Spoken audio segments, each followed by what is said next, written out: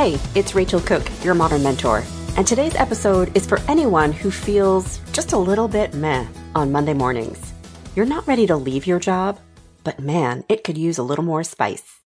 Today, we're going to talk all things job crafting. With books, movies, or music, I'm a tough customer. If I'm not jazzed in minutes, I'm moving on to the next.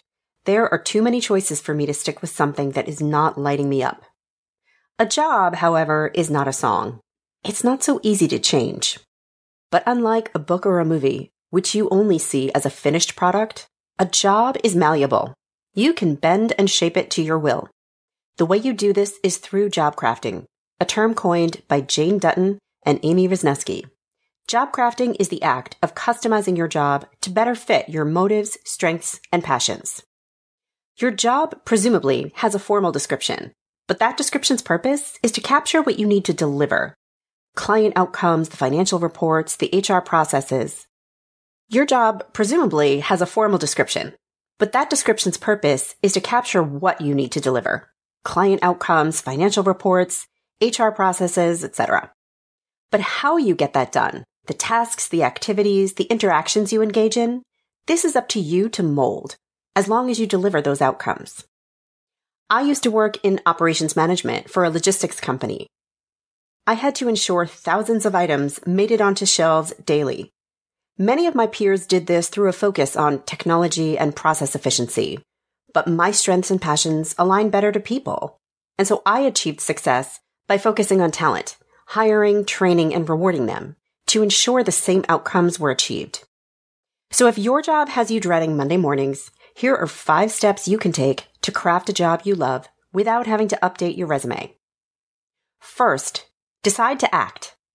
Job crafting begins with a choice. You must choose to recognize that jobs are not jail. You are not a prisoner to the description on the page. Every job can be bent, twisted, or molded within its boundaries. Crafting is an action verb, so don't sit back and wait for something to happen. Choose to take action. Begin with a commitment to yourself. Repeat after me. I will take responsibility for crafting this job into something I love. Look at you, already making things happen. Next, choose what to chase. Job crafting isn't about changing your title, function, or salary. It's about infusing more joy into your days. And to infuse joy, you must first know what brings you joy the tasks, actions, projects, conversations, interactions, and challenges that fuel your energy tank. It's about finding the things you love, that you're good at, and that you want to be known for. So start by asking yourself a few reflective questions. When do I find myself getting into a flow state? You know, that magical feeling of time having flown while you were wonderfully lost in what you were working on. What activities leave me feeling accomplished, productive, or proud once I finish them? What do I hope people seek my help or advice on? When do I find myself smiling, laughing, or just breathing deeply during the day? Whose job do I envy most, and specifically why? The point is to get really specific about the things that light you up. Take notes as you go and look for patterns. What do you see? Maybe you discover your favorite activities include researching, learning, and problem solving. Maybe for you, it's mentoring, training, or coaching others. Maybe you discovered you get lost in spreadsheets, or is it slides? Maybe your joy comes from running the meeting or presenting the idea. There are no wrong answers here.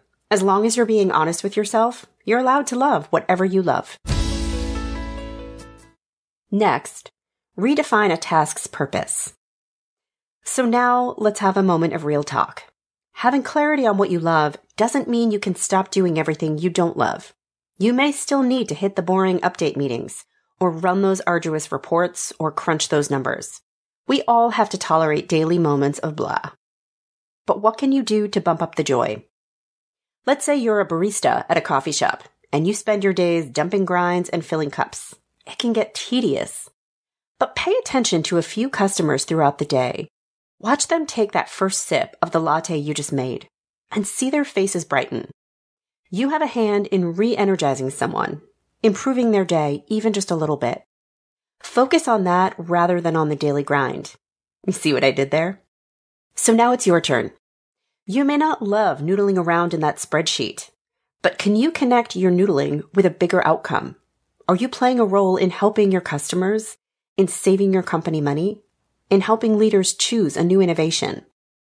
When doing a task you don't love, try shifting your focus from action to purpose.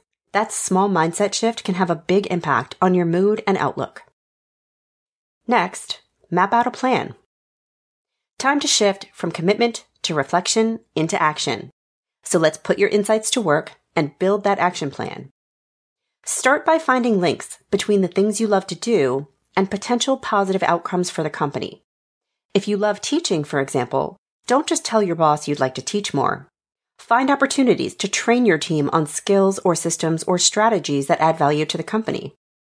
If you enjoy research and problem solving, scour your company for live problems and propose to your boss that you play a role in sourcing solutions. In putting your proposed plan together, here are some questions you might ask yourself. What activities do I want to do more of? How could doing more of these activities benefit the company? What live opportunities are currently available to me? Whose support, permission, or sponsorship do I need? What, if any, resources will I need? And how will I track results? These answers will ultimately inform the conversation you'll have with your boss. If you've made your case wisely, it will be nearly impossible for them to say no. And finally, run experiments. As you start to shift how you spend your time, not every choice or change will be a win. And that's totally okay. Just maintain a mindset of experimentation. You may find that you're getting drained from mentoring too many people, or suddenly you have one too many clients in your portfolio. Or the company may decide that you've done enough research on the problem and they need you to shift gears. Job crafting is not a discrete activity. You don't do it once, but rather continuously. Seeing this process as an evolution, a series of experiments you'll run over time, will set you up for success on your terms. My absolute favorite brand of success. Have a question I can answer? Check out all the links in my bio for ways you can reach me. You can also visit my website at leadabovenoise.com or follow me on the Modern Mentor podcast page on LinkedIn, where I share exclusive tips, videos, and musings. Join me next week for another great episode. Until then, thanks so much for listening and have a successful week.